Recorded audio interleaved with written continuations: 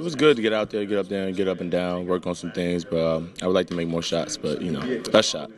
But you know, uh, they, they did a real good job defensively. Couldn't really turn no corners. Couldn't get in the paint. Kept me out of the paint. So kudos. How nice was it to get back to playing basketball, get back on the floor, get into the run? Oh, it was good. It was good. It's been a while. Uh, you know, guys learning new things. You know, just going out there and just trying to lead the team. We made, we fought back, but we just couldn't finish.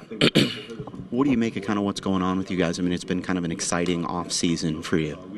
Uh, just got to stay out of those type of things. Just come to work. Uh, you know, just try to focus on the game. You know, we had a big summer league week. You know, for a lot of guys, including myself. Uh, I'm just trying to get better.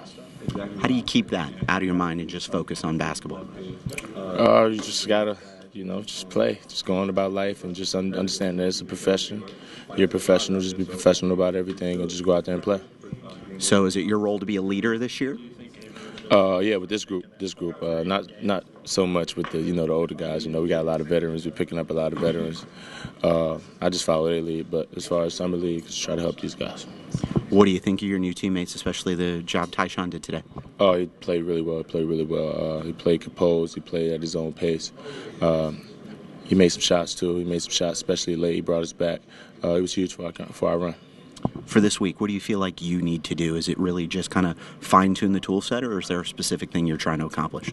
Uh, I'm just trying to really work on my defensive intensity, uh, create more opportunities. I want to rebound a little bit better, and uh, show I can pass the ball as well. So.